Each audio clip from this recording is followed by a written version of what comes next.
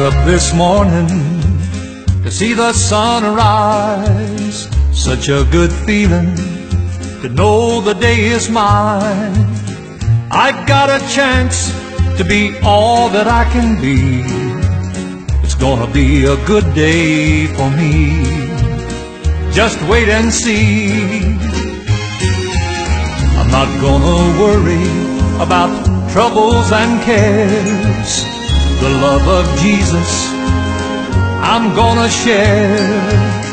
I will rejoice in the things I cannot see. It's gonna be a good day for me, Jesus and me. This is